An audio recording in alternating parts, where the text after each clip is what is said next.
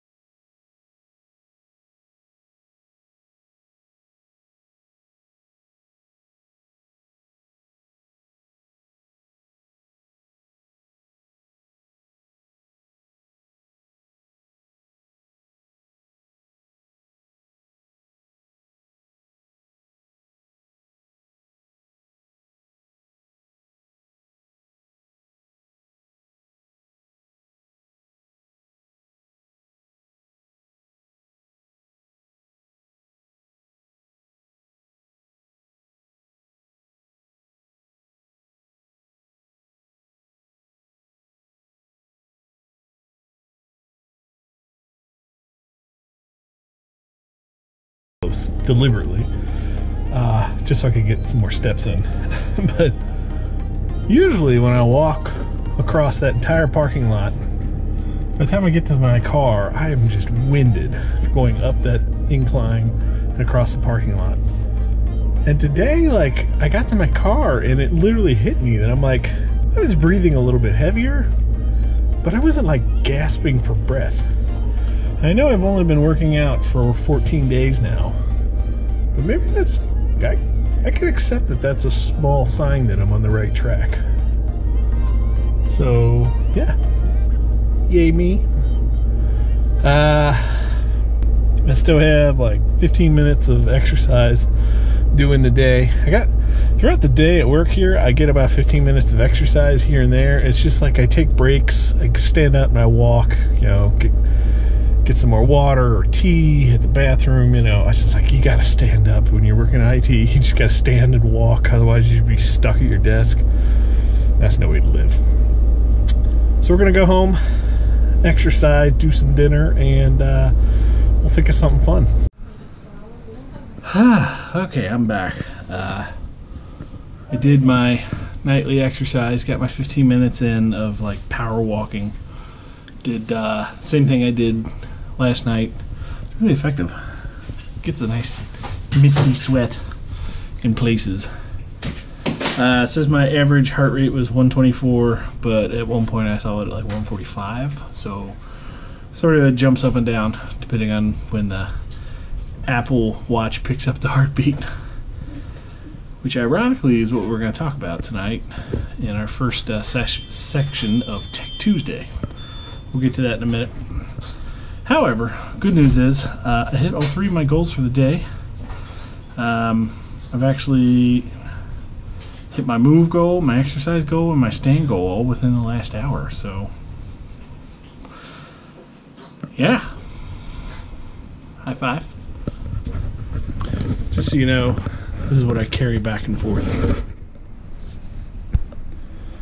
I got two 15 pound cast iron weights, an eight pound exercise ball.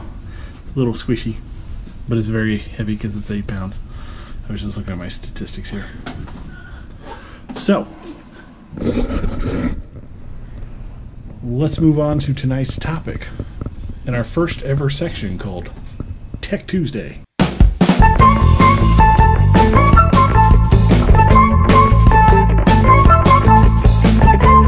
So, this week on Tuesday. I want to start talking about things that are helping me. Make sure your phone's not one of those other pockets. I only looked in the big pocket. So each week, I want to spend a little bit of time focusing on a couple things. Uh, this week, I want to focus on some of the gear that's helping me on my journey here. And it wouldn't be fitting without starting with the biggest thing my Apple Watch. This is my Apple Watch. It is a Gen 3 Apple Watch, and it is the larger one. It is uh, the man size one, is what I'll call it. Not there, there is such a thing. Anyways, on it, you could have default faces that are basically you could choose which uh, face you want. Sometimes it's less responsive when it's not on your wrist. I chose to set this up. This is a custom profile. Shows me the date and time. Shows me a heart rate right in the middle. Breathe app. I have a exercise rings and then my exercise button here. So the breathe app, you basically set it for whatever you want using, you know, the little crystal thing. For this, you could, at a glance, you could look at your activity rings. So it shows you your rings, move, exercise, and stand. So in this case, I've hit 120% of my move goal for today. This number fluctuates depending on how active you are. So if you're really active, it actually sets the goal a lot higher.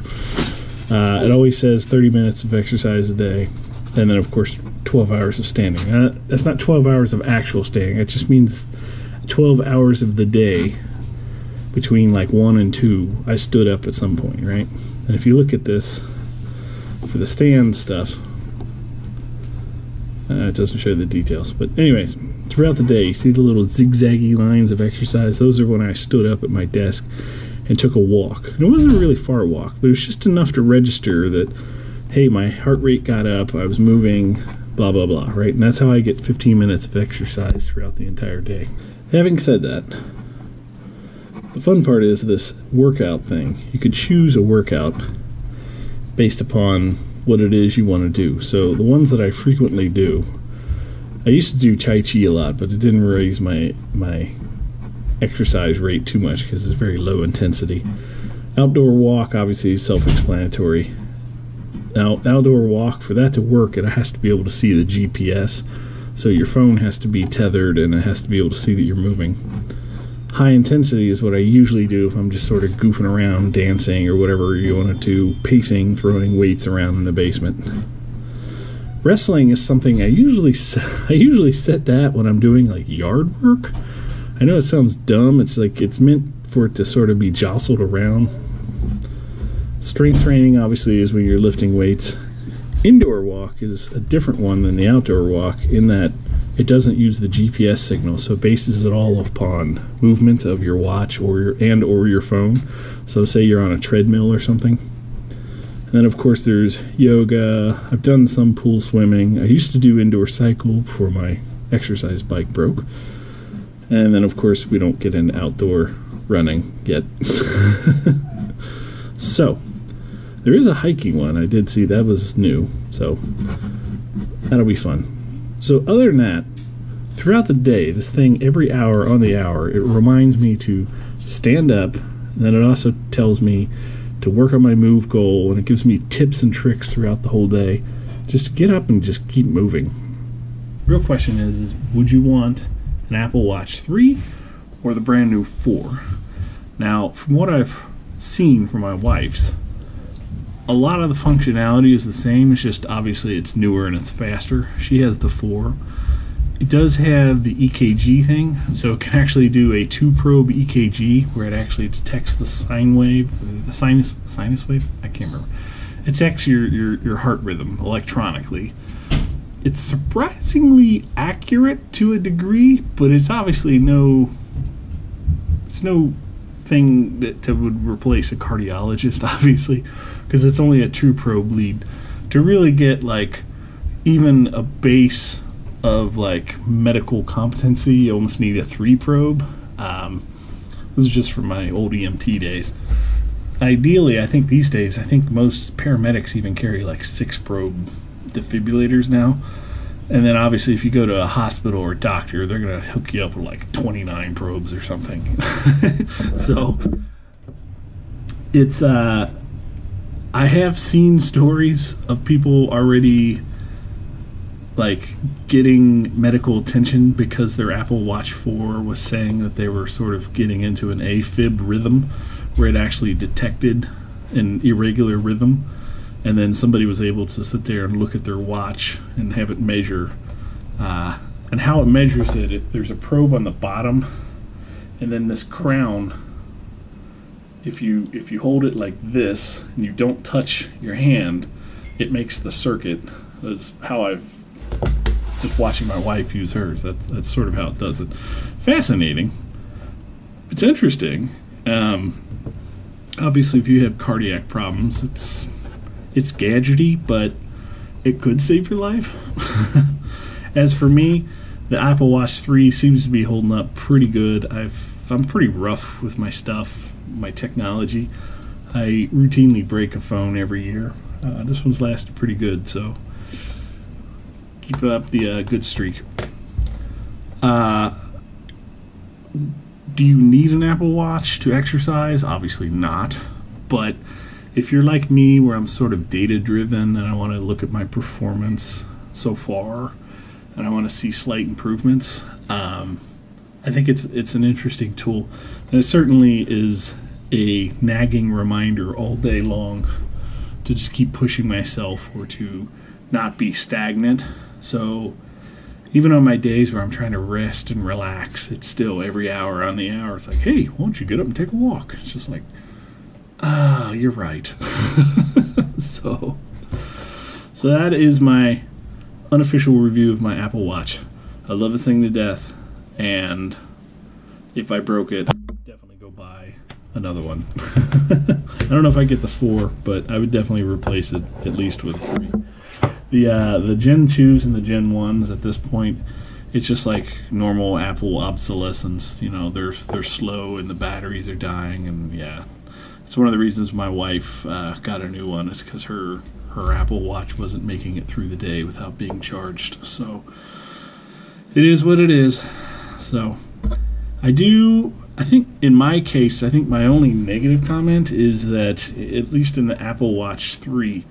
Uh, every now and then when I'm working out, if I'm working out really hard and my watch band is a little loose, it can't detect my pulse, so then it doesn't register that as exercise. So I'll do like 20 minutes of hard walking around the neighborhood and I'll get back and it'll say I only did like 12 minutes. And it's because I think the watch just sort of rattles around. I think the the way to get around that I think is to put the band on tighter but then I feel like my wrist is being squeezed, you know? So it's kind of a back and forth. I know there's like, I mean, if, if you're like really hardcore into fitness, the Apple Watch probably isn't the way to go. Like you might want to go with like a Garmin or something that has like actual heart sensors that strap around your chest. Um, but for what I call, you know, for me, what I call, you know, a, a casual exerciser so far. You know, obviously I'm not no, I'm not no CrossFit high intense crazy. I'm good with this for now, and then I'll cross another bridge when we get to it in the future. So that's the end of Tech Review Tuesday. I'm not going to be reviewing all the latest toys and gadgets things that are just you know entertainment only. I'm just specifically talking about things that are helping me uh, on my journey to getting healthier and happier. So yeah, I hope you enjoyed that. I think I'm going to end the vlog here. I'm Andrew Moore. Peace, love, happiness. Bye bye.